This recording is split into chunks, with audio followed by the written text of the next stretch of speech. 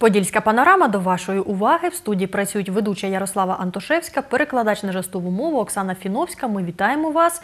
І зараз анонс першої частини програми. Заблоковані трибуни і президія або чому перенесли пленарне засідання 18-ї сесії Хмельницької обласної ради. Три тижні без транспорту жителі села Фащіївка Віньковецького району вимагають відновити автобусне сполучення. Новини спорту Кам'янець-Подільська фортеця стала чемпіоном України з футзалу серед ветеранів. Пленарне засідання 18-ї сесії Хмельницької обласної ради сьогодні не відбулося через заблоковані трибуну і президію. На початку засідання свободівці та близько 10 бійців АТО вимагали від депутатів змінити порядок денний. А саме питання про використання на території області прапора національно-визвольної боротьби розглянути першим, а не 45-м. Однак цю пропозицію більшість не підтримала. Докладніше про пленарне засідання у сюжеті Юрія Курочки. Розбіжності у залі обласної ради розпочалися із затвердження порядку денного. Депутати від фракції Всеукраїнське об'єднання Свобода запропонували розглянути першим, а не 45-м питання використання червоно-чорного прапора ОУН на території області. Позицію пояснив депутат Анатолій Панчук. Цей червоно-чорний прапор визвольної боротьби. Тому ми і внесли пропозицію, щоб його розглянути першим, відпустити цих людей, добровольців, які, як вже було сказано, може не можуть тут стояти вже з третю годину. Цю пропозицію депутатський корпус не підтримав. За проголосували 28 обранців із 62 присутніх. Після чого фракція Свободи разом із присутніми в сесійній залі бійцями АТО заблокували президію і трибуну. Позицію побратимів пояснив командир 7-ї резервної сотні добровольчого українського корпусу правий сектор Олександр Попов. Червоно-чорні кольори завжди символізували боротьбу українського народу за незалежність. На протязі цієї боротьби завжди поряд жовто-блакитним прапором майорів червоно-чорний прапор. Слово надали усім бійцям, а то, хто захотів виступати. Далі голова обласної ради оголосив перерву для наради із головами фракцій. Після паузи їх заслухали. Депутати від фракції за конкретні справи свободівці вирішили не підтримувати. Представники аграрної партії та блоку Петра Порошенка забажали визначатися кожен самостійно. Обранці від фракцій Батьківщини, самопомочі та радикальної партії підтримали свободівців і військових, які заблокували трибуну. Після чергової третьої перерви у депутатів знову не вистачило голосів, щоб позачергово розглянути питання прапора. Натомість проголосували за створення комісії, яка має більш ретельно обговорити використання червоно-чорного стяга на території області. по два чоловіки від кожної фракції, задіяти представників, звичайно, учасників АТО. Ця нарада Рада працюватиме протягом двох-трьох днів. Пленарне засідання перенесли на 27 березня. На ньому питання про використання на території області червоно-чорного прапора поряд із державним планують розглянути повторно. Юрій Курочка, Іван Мовчан. Новини Поділля Центр. Сім із восьми нардепів від Хмельниччини віддали голоси за арешт Надії Савченко. Така інформація міститься на офіційному сайті Верховної Ради України. За проголосував Олександр Герега, Сергій Мельник, Андрій Шенькович, Олександр Ксенжук, Роман Мацула, Сергій Лабазюк та Володимир Мельниченко. Народний обранець Віктор Бондар утримався.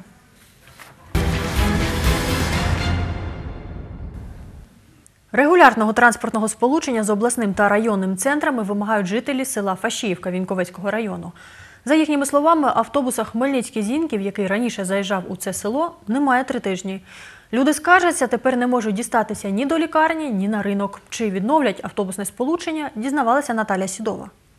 У селі Фашіївка, що у 30 кілометрах від Віньковець, близько 150 жителів. Більшість із них – пенсіонери. За словами селян, вони вже майже місяць у транспортній блокаді. До них не заїжджає жодний громадський транспорт. Автобус, я вам скажу, у нас автобус тільки рахується, що він у нас є. А він так, він повинен ходити п'ятниця, субота, неділя.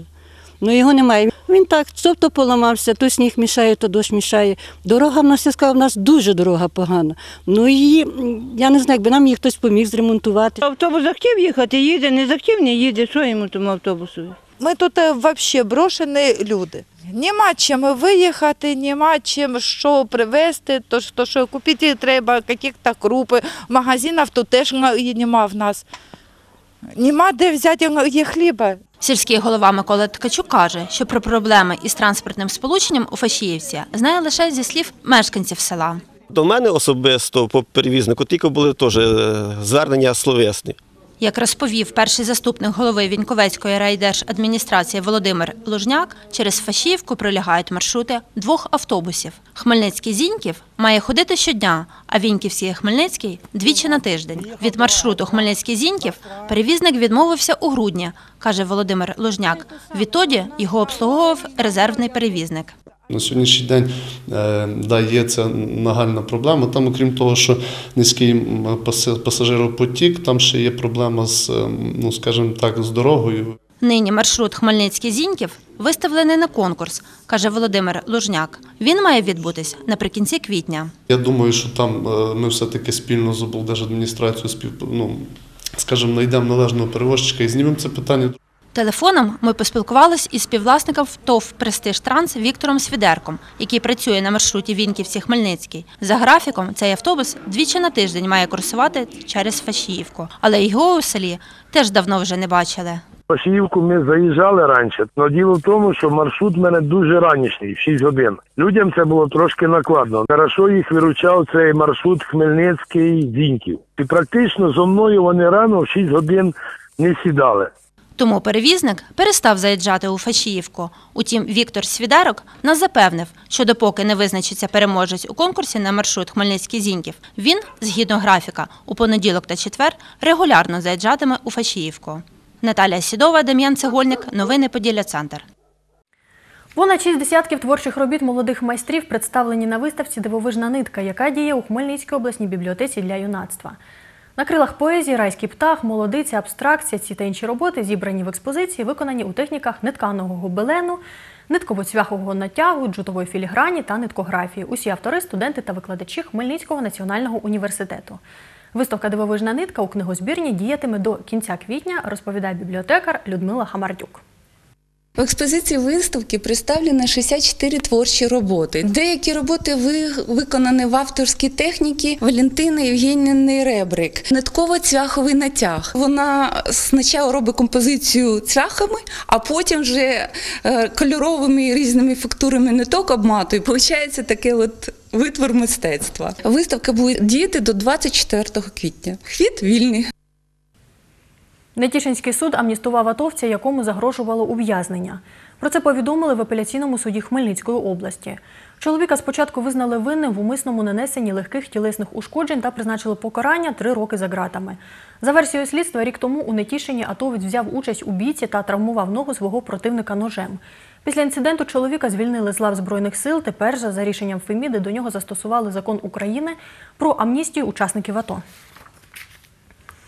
11 мільйонерів зареєстрували податківці на Хмельниччині за підсумками деклараційної кампанії на сьогодні.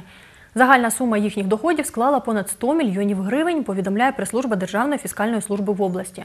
За аналогічний період минулого року мільйонерів було 6. А сума їхніх статків не перевищувала 20 мільйонів гривень. Нагадаю, громадяни, які отримали запрошення від податкової служби, мають подати декларації до 1 травня. Ви дивитеся подільську панораму і зараз анонс її другої частини. Зруйновані підземелля або чому підвали хмельницьких багатоповерхівок не стали укриттями. Незвичні сюжети та містичність в обласному центрі відкрилася виставка художниці Людмили Татаріної. Новини спорту Кам'янець-Подільська фортеця стала чемпіоном України з футзалу серед ветеранів. Бійця АТО Миколу Мужичука сьогодні поховали на Алеї Слави у Хмельницькому. Попрощатися з військовим прийшли близько двох сотень людей. Нагадаю, Микола Мужичук помер 19 березня після операції у Харківському шпиталі. 26 березня йому виповнилося б 49.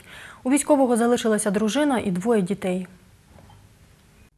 Дійсно, це та людина, яка віддала свій борг країні е, з великими відсотками. Тобто це, це правильно, це про нього. Бліндажне життя, так би мовити, його не озлоблювало, а він завжди був з гарним почуттям гумору, завжди на позитиві, ну, дбав про своїх хлопців, тобто намагався підтримати завжди бойовий дух, ну, завжди був позитивним прикладом патріоту. Микола Мужичук із позивним Кіт був волонтером, добровольцем, офіцером. І на передовій не забував про хобі з мирного життя, згадує хмельничанин Руслан Юшкевич. Коля ж встигав паралельно ще й займатися акваріумістикою і там.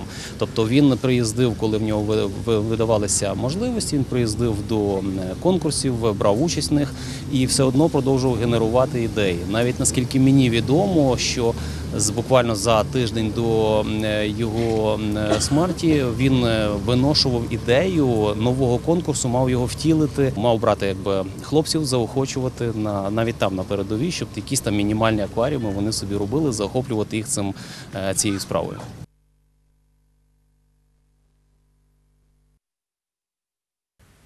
У Хмельницькому є близько тисячі найпростіших укриттів у підвалах багатоповерхівок, але не всі вони наразі відповідають критеріям захисної споруди. Про це повідомив начальник міського управління з питань надзвичайних ситуацій Дмитро Білоус. За його словами, звільнити підвали від мотлоху можуть самі мешканці, а подбати про освітлення, туалети, лавки та запас води повинні управляючі компанії, ЖЕКи або ОСББ. Тему досліджувала Світлана Русіна. Вдруг щось, не дай Бог, то щоб люди сюди сховалися і була водичка, то має провести. Старша будинку на вулиці Хотовицького хмельничанка Людмила Дзюбінська називає цей підвал зразковим, бо тут чисто скрізь освітлення, є лавка та столик. Такі приміщення хмельницьких будинків у міській раді рік тому назвали укриттями. Відтоді підвали привели до ладу, каже мешканець будинку на інститутській Іван Кручко.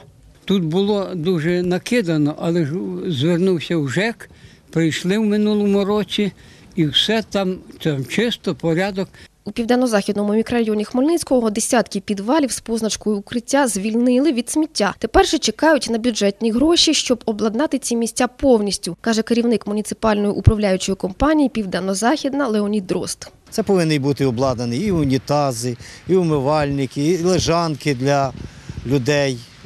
От, але ну, є питання зберігання, як його зберегти. Ну, обіцяли, що в цьому році в бюджеті закладуть і, і так сказати, будуть йти поетапно. У Хмельницькому нині близько тисячі найпростіших укриттів. Передбачається, що тут можна ховатися від обстрілів, ураження ударною хвилею та світловим випромінюванням. Більшість найпростіших укриттів знаходяться у підвалах багатоквартирних будинків. Разом з тим, бути захисною спорудою можуть не всі підвальні приміщення, каже начальник управління з питань надзвичайних ситуацій Дмитро Білоус. В кожній управляючій компанії є перелік цих будинків, тому що в будинки є старі оці от будинки, де передбачені ці підвальні приміщення. Ну а такі нові оці от будинки, де будуються е, панельні будинки, там не передбачено.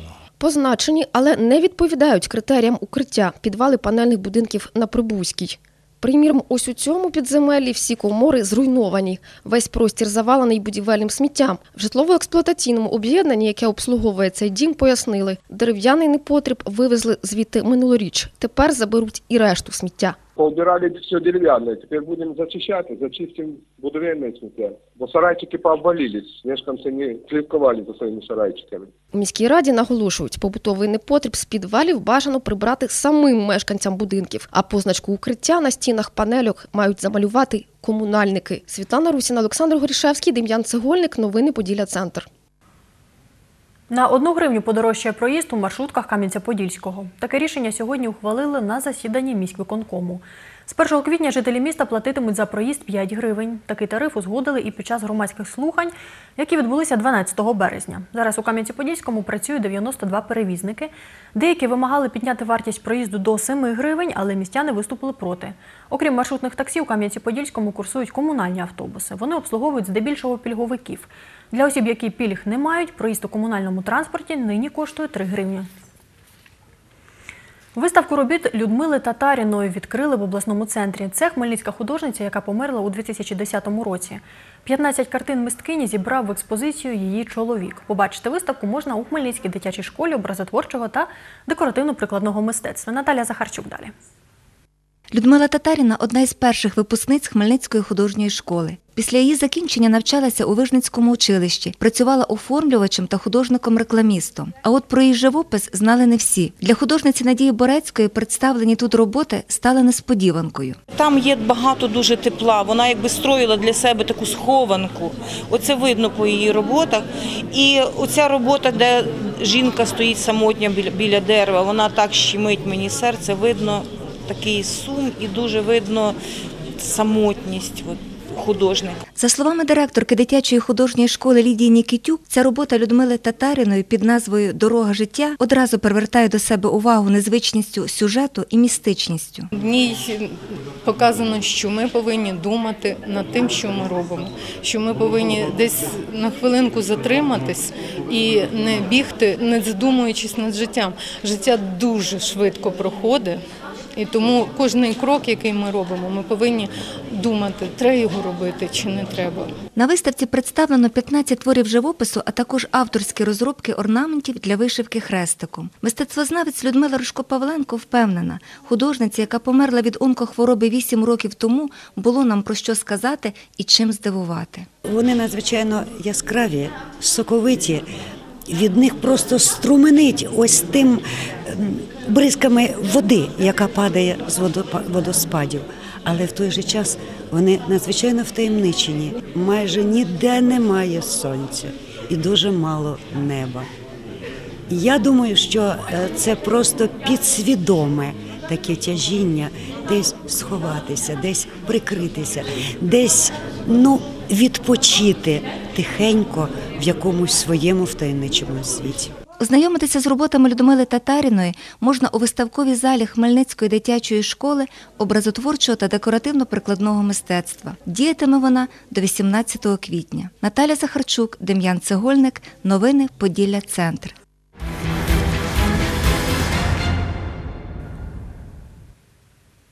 Міська спартакіада з волейболу серед учнів системи професійно-технічної освіти Хмельницького сьогодні фінішувала. Цього року в освітянських змаганнях взяли участь шість юнацьких та чотири дівочих команди. На найвищу сходинку п'єдесталу пошани, каже головний суддя спартакіади Віктор Окарський, зійшли команди вищого професійного училища номер 25 серед хлопців та професійного ліцею серед дівчат. Кам'янець-Подільська фортеця стала чемпіоном України з футзалу серед ветеранів спорту віком старші 55 років. Це вперше, коли команда з нашої області здобула золото, каже голова обласної федерації футболу Ігор Хіблін. Ну і радість прийшла і вже в цьому році футзалська команда на базі е, команди Фортеця міста Кам'янець-Подільський, збірна Хмельницької області стала чемпіонами е, України. Ну, чемпіонат України давно проводиться. Е, наші команди з Хмельницької області приймали участь, але не було таких успіхів. У віковій групі 45+, Кам'янець-Подільська фортуна виборола бронзу національних змагань. Завершився і чемпіонат області з футзалу. Призерами змагань стали команди Славути, Нетішина та Дунаєвець. Цього року, каже Ігор Хіблін, змагання не минули без інтриги. Тут така боротьба була, е, бо після е, перед е, останньою грою у із шести команд п'ять мали по сім, по сім очок. І саме головне, що в останньому турі грала команда з Кам'янця-Подільського і Шепетівки. І Шепетівки треба було тільки не програти, щоб стати чемпіоном. А вони програли і зайняли четверте місце. І чемпіонат пройшов дуже цікавий. Інтриги були, і вболівальників дуже багато, повні зали були. 26 березня в Миколаєві розпочнеться жіночий чемпіонат України з футболу Ю-15. Збірна нашої області, котра складається з вихованок двох спортивних шкіл, першої Хмельницької та спортивної школи Славутського району, у вихідні вирушає на змагання. Чемпіонат області з важкої атлетики відбувся в городку. Про це повідомив головний суддя змагань Андрій Мельник. До участі запрошувалися юнаки та дівчата до 13 років. Серед дівчат командне золото дісталося спортсменкам Теофіполя. Срібними призерками стали атлетки городка, замкнула трійку призерів команда Кам'янця-Подільського. У змаганнях юнаків командні нагороди найвищого гатунку здобули вихованці Кам'янця-Подільського. На другій сходинці важкоатлети городка бронза у представників Волочиська. Суддівська колегія визначила і загальнокомандні місця, зважаючи на результати і юнаків, і дівчат. Тож чемпіонами стали господарі чемпіонату спортсмени городка. За ними на другому щаблі кам'янчани, на третьому місці учасники з Волочиська. Закінчився чемпіонат міста Хмельницького з футзалу, повідомив керівник Асоціації футзалу Хмельницької області Артем Глас. Останні зустрічі відбувалися в першому з п'яти дивізіонів, де визначилися призери змагань. Переможницею стала команда Феміда Старлайв, друге місце посів Епіцентр К Форест Клаб, бронзовим призером чемпіонату став Хелікс. І це остання новина випуску. Дякуємо вам за увагу.